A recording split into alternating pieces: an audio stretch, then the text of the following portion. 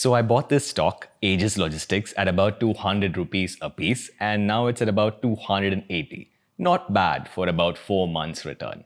But Hey, how's it going? Welcome back to my channel. This is Pradeep and you're watching Vlog of Note. In this video, we're going to take a quick update of the stock of Aegis Logistics of their Q1 FY23. Let's get started.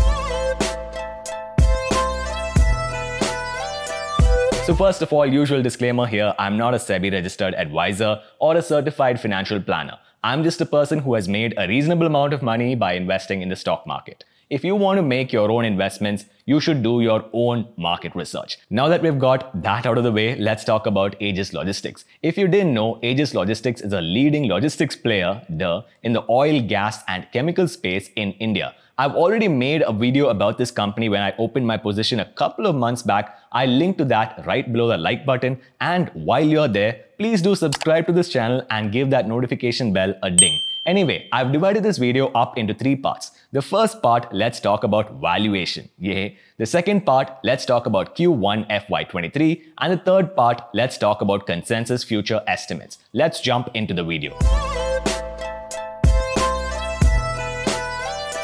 Let's start this video by talking about the valuation of this stock. For this example, we are going to be using the discounted cash flow method. Before you fall asleep, understand this. Discounted cash flow method works on the principle that a dollar in the future is worth less than a dollar today. As per Warren Buffett, if you are able to understand the future cash flows of a company up till judgment day and then discount them back to the present value, you will be able to arrive at the correct valuation of that particular stock. Now, in the case of discounted cash flow method, you have two numbers that you have to be aware of. The first is the present value of future cash flows for the next 10 years. Basically, in the next 10 years, the company is going to have high growth. After that, you'll have to take the present value of future cash flows after the 10 years during which the company will have steady growth. In the case of Aegis Logistics, if you take their present value of future cash flows, it comes to about 40 billion Indian rupees. That's about 4,000 crores for people who are keeping track. And then if you take the present value of their terminal value, it comes to about 60 billion Indian rupees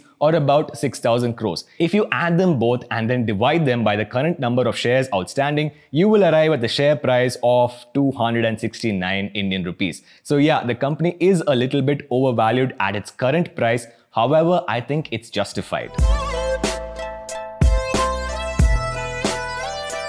Then let's talk about Q1 FY23. For those of you who are not in this country, in India, Q1 FY23 basically means April to June of calendar year 2022. Yeah, I know we're kind of weird like that, right? Anyway, if you take Q1 FY23 of this company, their PAT or profit after tax went up by 49% to over 107 crores. Also, their EBITDA or earnings before interest, taxes, depreciation, and amortization went up by 43% to over 164 crores, and their revenue went up to over 2,235 crores. That's versus 678 crores in the same quarter the previous year. Overall, if you look at the quarter, the entire quarter is up by 50%. If you look at their historical average of 15%, this is a pretty spectacular quarter.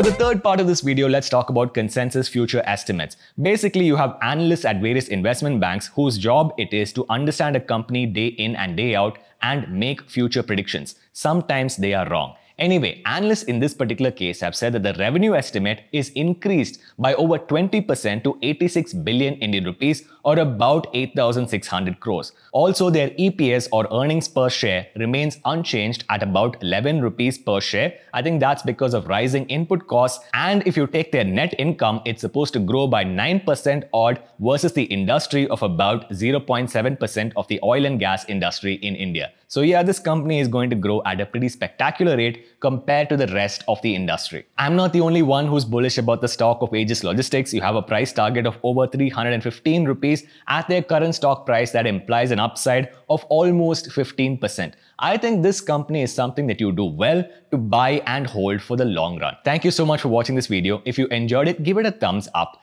As always, please go over to YouTube, subscribe to the Vlog of Note channel, ring that notification bell so that you never miss a video and I will see you guys in the next episode.